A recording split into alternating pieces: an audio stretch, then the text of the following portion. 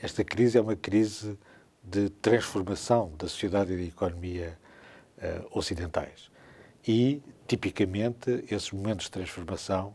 uh, criam riscos para as democracias uh, liberais, para os regimes de liberdade que caracterizam a política ocidental. Foi assim no passado e, à partida, existe entre os analistas a expectativa de que haja uma ascensão dos extremismos que acompanha a evolução da crise. Nós ainda estamos na primeira parte uh, dessa crise, mas até agora essa ascensão dos extremismos ainda não uh, ocorreu. Há com certeza fenómenos de radicalização na política ocidental, uh, há tendências antipolíticas razoavelmente fortes em países tão diferentes como a Itália, a Alemanha, a França ou a Finlândia, mas uh, ainda não apareceram nem novos partidos uh, totalitários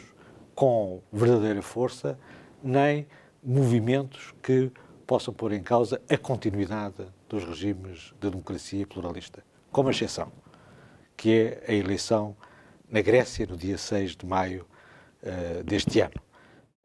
1989 completou a democratização uh, europeia, completou uma vaga de democracia que começou com o 25 de Abril em Portugal, se estendeu à Espanha, na América Latina e regressou à Europa pela Polónia para uh, pôr fim aos regimes comunistas na antiga uh, Europa de Leste e criar um novo sistema internacional onde as democracias pluralistas são o centro de estabilidade do sistema internacional e são, se quiser, preponderantes na política internacional. Há com certeza tensões regionais eh, eh, que são importantes, designadamente no Médio Oriente eh, eh e, na, eh, e na Ásia, e eh, a percepção de que a crise é uma crise internacional, que é muito forte na Europa, tende a fazer com que nós projetemos esse, essa visão de crise para lá das fronteiras da Europa Ocidental. Mas a Europa Ocidental é o centro desta uh, crise. Essa, esta crise não existe na Ásia e a crise que existe no Médio Oriente